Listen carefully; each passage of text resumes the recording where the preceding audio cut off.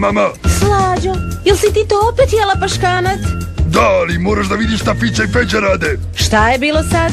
Njih dvojica stalno nešto muljaju. Ja bih da na njih padne ljaga. Ali dok tebe dovučem kući, od zločina nema ni traga. Ti dečaci su slikovci.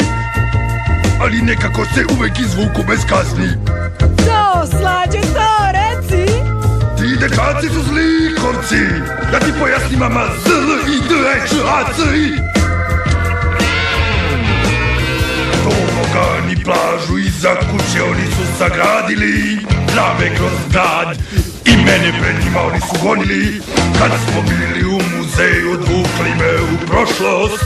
Tušom činovskih robota oni srušili su most Ti dečaci su zlikovci Od njihovih sina mene prođu žmarci.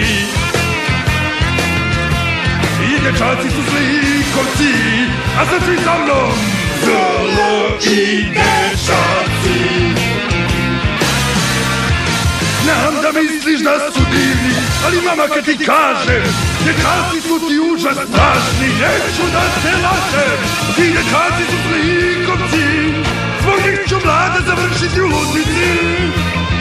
A to je baš šteta, idemo svi. I dečaci Mali nevaljali zlikovci zli ne valjali I dečaci